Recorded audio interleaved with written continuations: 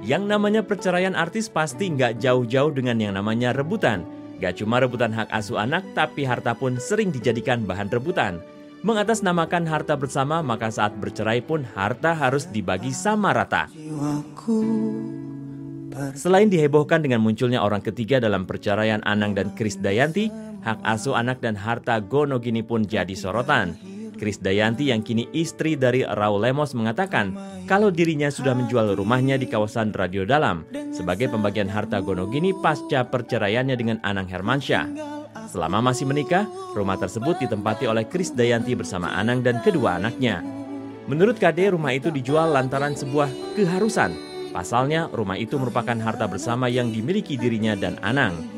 Kini saat Anang Hermansyah sudah menikah dengan Ashanti, suami Kris Dayanti, Raul Lemos, kembali meributkan ruko yang ditempati oleh Anang dalam jejaring sosialnya. Berita bahwa Raul Lemos sedang memiliki masalah ekonomi pun kembali menguat. Kasus perceraian anak dari mantan orang nomor satu Bambang Trihatmojo dan Halimah Kamil sepertinya menjadi episode yang panjang dalam kehidupan mereka. Setelah sebelumnya Halimah menolak untuk dicerai dan Bambang pun harus rela mengajukan PK, akhirnya keduanya resmi bercerai pada tanggal 23 Desember 2010. Hanya saja kasus perceraian yang tidak hanya dihebohkan karena kehadiran orang ketiga, juga diramaikan oleh berita tentang harta gono gini. Meski telah resmi bercerai, Bambang Tri tetap harus merogoh koceknya cukup dalam untuk diberikan kepada Halimah, yakni berkisar satu setengah miliar rupiah untuk biaya hidup Halimah. Kasus perceraian Maya dan Ahmad Dhani pun tidak kalah heboh dengan perceraian dua pasangan sebelumnya.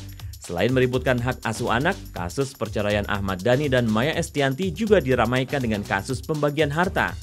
Apalagi pihak Dhani mengatakan bahwa Maya harus ikut campur dalam pembayaran hutang bersama senilai miliaran rupiah. Sedangkan Maya mengaku bahwa dirinya tidak mengetahui persoalan hutang piutang.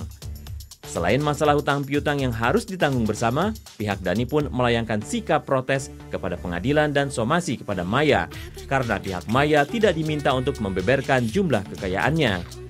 Persoalan harta Gono Gini mulai mencuat ketika Maya mengajukan permohonan sita terhadap harta bersama yang diperoleh selama perkawinan mereka. Menurut Maya mempermasalahkan harta Gono Gini semata-mata untuk masa depan anak mereka, namun di pihak Dani menilai Maya tidak fair.